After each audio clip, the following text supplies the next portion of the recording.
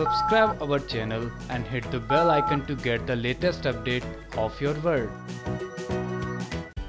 Star plus पर telecast होने वाला शो अनुपमा की कहानी में आप देखेंगे। अनुपमा, अनुज की मेहंदी का फ़ंक्शन चल रहा होगा। वहीं अनुज, अनुपमा को साथ देख बनराज को जलन होती है। वहीं काव्या अनुपमा की मेहंदी लगाने जा रही होती है और अनुपमा काव्या से कहती है कि मेरी खुशियों में खुश होता देख।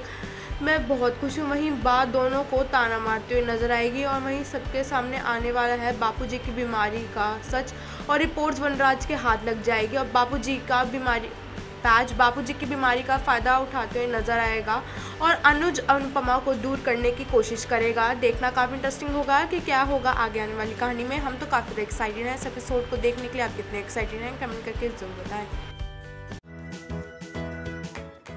Subscribe our channel and hit the bell icon to get the latest update of your world.